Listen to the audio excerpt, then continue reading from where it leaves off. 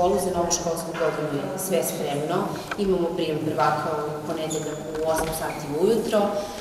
Prijem će, djeca će dočekati bivši učenik naše škole koji će odrecitovati zajedno sa koleginicom muzičkih stimulacija Slavica Mitić koja je tokom leta spremala, tako da će biti pružen doček onako kakav deca zaslužuju za boravak u našoj školi i, da, i nastavak školovanja.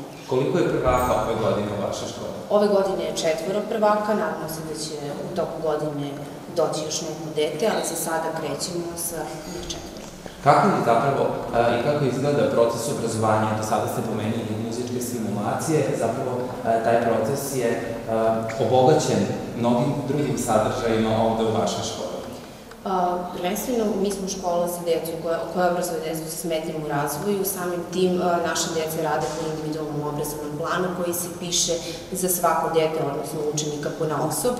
Osim redovnih predmeta koje postoje u drugim školama, mi imamo individualne časove, odnosno individualne aktivnosti, to su muzičke stimulacije, psihomotorna reedukacija, logopedske vežbe, imamo senzornu sobu Montessori učionici i mnoge druge sekcije koje obuhvataju trening životnih veština gde se deca osposobljavaju za svakodnevni život, za snalaženje u svakodnevnom prostoru.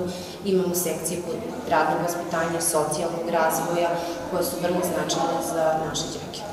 Jedina ste ovakva škola u Pirotskom okrugu i ovde su učenici iz grada Pirota i opština Babušnica, Dimitrovgrad i Bela Palanka, ali ste i škola koja delinuje osnovne i srednje obrazovanje. Koji su ti obrazovni profili za učenike srednje škole U našoj školi postoje dva obrazovna smera, to su konfekcijski šivač i mašin bravar.